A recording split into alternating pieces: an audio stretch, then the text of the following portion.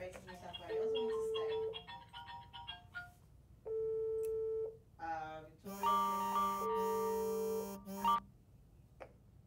Okay. Um, your contact number?